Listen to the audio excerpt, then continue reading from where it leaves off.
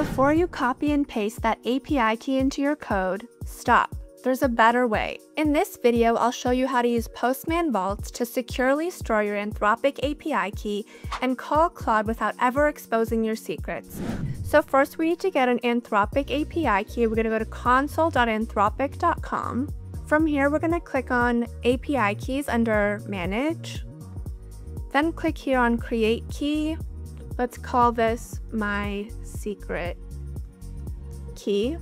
Now when this pops up, it's not going to pop up again. You're not going to be able to view it again, so make sure you copy it.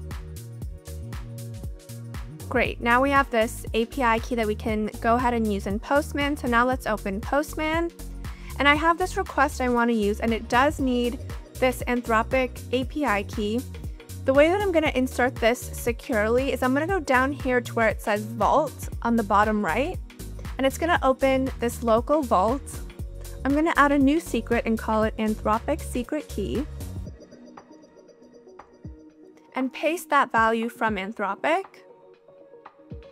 So now when I go back to the request, we can see this is no longer red.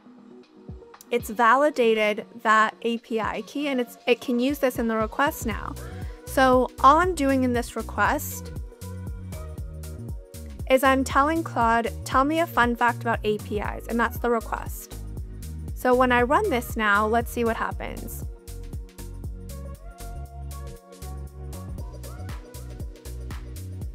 So we got a 200, it says, here's a fun fact. The concept of APIs, application programming interfaces, actually predates computers. And this is, you know, a fun fact. I could ask it anything here and it'll talk to Claude. This is how you can securely store different secrets and different API keys securely and safely with Postman Vault.